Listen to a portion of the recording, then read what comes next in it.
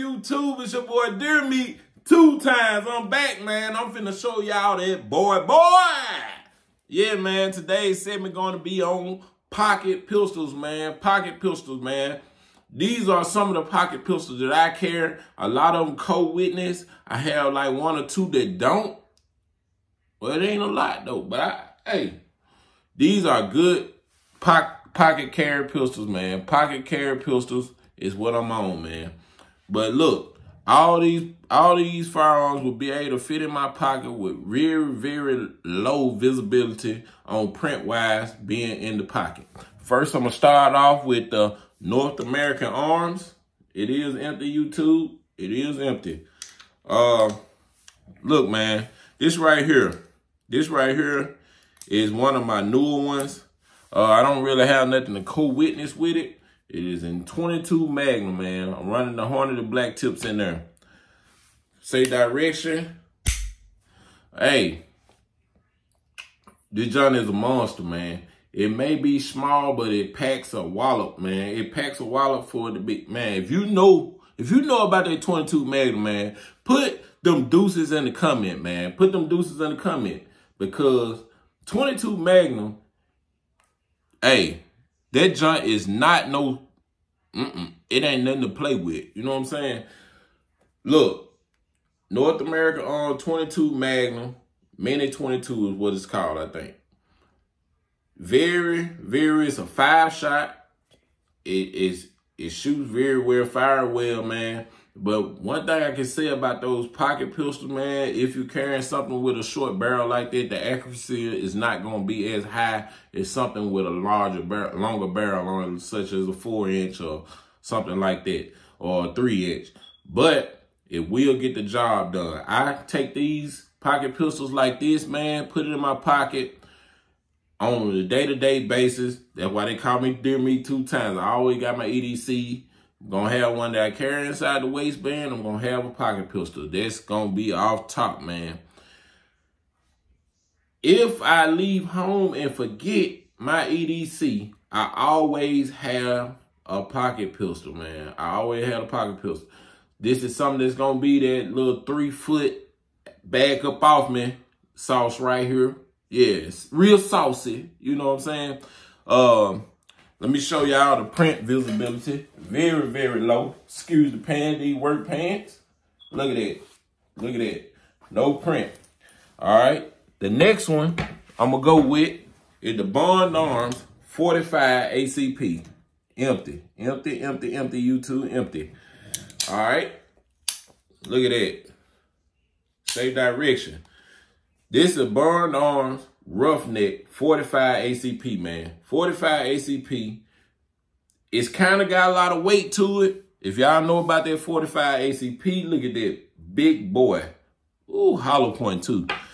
This is really going to bag them off. You know what I'm saying? It, it got a lot of thump to it, you know. And then it's not as, it's loud, but it's not as loud as the 22 Magnum. But this will get them up off of you if you need to defend yourself. This will do the job, buddy. And let me show you the visibility on it being in the pocket. Look at it. Look like some keys in your pocket. You can't even tell. Hey, you can shoot it from in or man, look. All right, we're gonna go next one. This one right here is empty. It's empty, YouTube. Let me show you, show you some daylight through it. Let me show you some daylight through it. All right. Same direction. All right. Look, this right here is, this right here is a Cobra. This is a Cobra arm. They are very low cost, sub 150. You may get it cheaper than that. I got it way cheaper than that. But look, this is a 38 special. I also have a 32 H&R Magnum barrel for it as well. But I carried this one for a long time before I got the uh, Bond Arm Roughneck. And it does the job, man. It does the job. I have like been fishing and needed it for that snake season. It done the job. that little three foot, man, it works. It works. Look, very, very low print. Very, very low print on this. Like I said, and it's got crossbar safety. This one got uh this one has the crossbar safety and the Bond Arms. And then the uh North American arms has a cylinder in between safety where you can carry it where it doesn't ride on the rim because it's a rimfire pistol. But let me show you. Look at it. Visibility, nothing. I carried this one for a while. All right. Let's go. Let's go. Something that's going to be a little bit more clicker, clicker, clicker, clicker. You ain't got to pull the hammer back every time you get ready to shoot. Then the capacity is high on it. Y'all guys know I like Taurus. Boom. It's six in the mag plus one in the head. It is empty, YouTube. It is empty. Safe direction. All right. This is a Taurus TCP 380. Look, man, I've been had this one for a long time, man. A very, very long time. I actually took my concealed carry permit test with this. And this more than that three feet right here. This right here, with me it is. You know what I'm saying? With me, it's more than three feet. But, yes, sir. It is a pocket pistol for me, man. I am a bigger guy. It don't print in my pocket as much.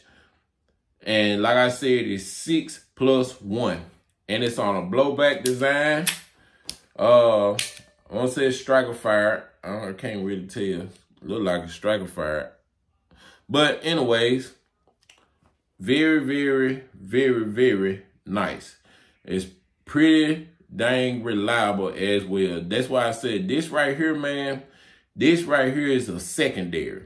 It ain't going to be your primary, it's secondary.